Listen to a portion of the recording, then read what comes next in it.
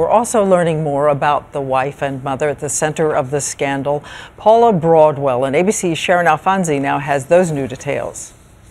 Her North Dakota classmates voted her most likely to be remembered, but no one thought it would be for this.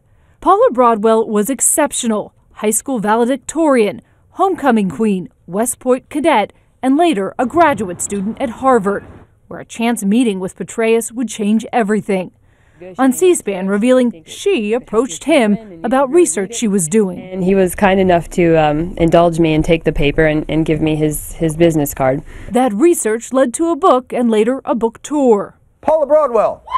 Broadwell was reportedly having an affair with Petraeus at the same time she was out promoting her book about him. Is he awesome or incredibly awesome? He can turn water into bottled water. What? Then, the 40 year old, often admired for her biceps as much as her brains, had a push up contest with Jon Stewart.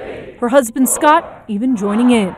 Six, seven, those book tour interviews now being viewed and reviewed on the website arthurkatie.com. You know, it's not it's not a hagiography. I'm not in love with David Petraeus. Sent him and his wife a copy, and I know Holly Petraeus, his wife, read it, and she had great things to say. But as high octane as Broadwell ran, helping demonstrate and sell guns in this infomercial for KRISS Arms, on the individual fighter, reducing weight is, is critical. Neighbors saw something else a loving mother, a doting wife. She and her husband, I observed, had a really did have a very affectionate relationship, and um, had, it, it was often you would see them having with their kids candlelight dinners. Their boys, ages four and six, their Charlotte home now dark, a note etched in chalk left on their driveway.